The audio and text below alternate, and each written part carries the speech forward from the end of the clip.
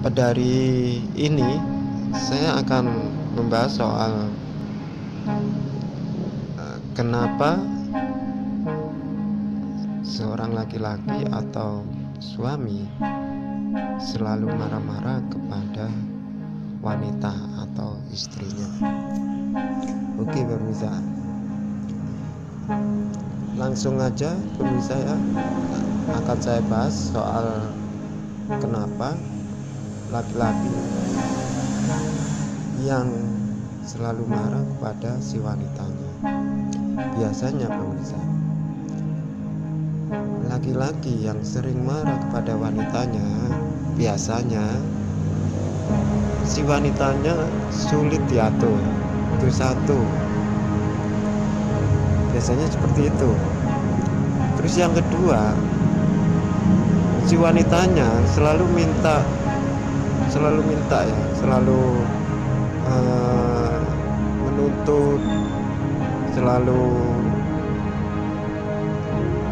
pokoknya sejenis uh, materi ya. Jadi dia meminta soal materi. Seperti contohnya uh, soal nafkah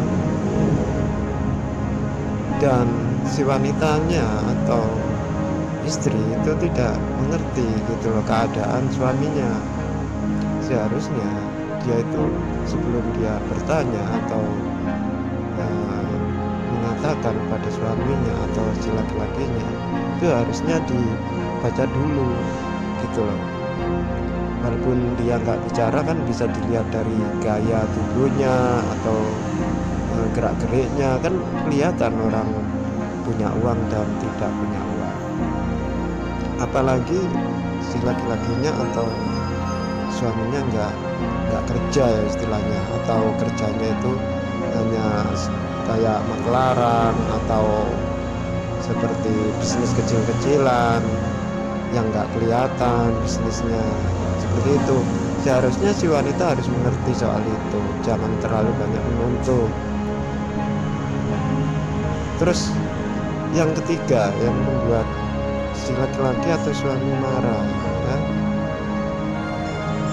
biasanya si wanita di saat laki-laki atau suaminya datang itu dalam keadaan si wanita nggak ada di rumah atau lagi bermain di tetangganya atau di temannya itu membuat si suami atau si laki-laki itu jadi bingung gitu. Jadi uh, pikirannya itu ke mana-mana gitu berprasangka yang ke mana-mana gitu.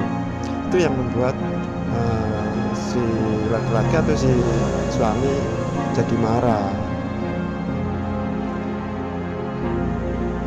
Oke pemirsa begitu aja untuk edisi hari ini tentang kenapa seorang laki-laki atau seorang suami marah-marah kepada si wanitanya atau istrinya. Dan bisa jangan lupa ya tombol subscribe di bawah video ini agar channel kami semakin maju untuk menemukan cinta-cinta yang berikutnya. Oke pemirsa sampai jumpa. Dan assalamualaikum warahmatullahi wabarakatuh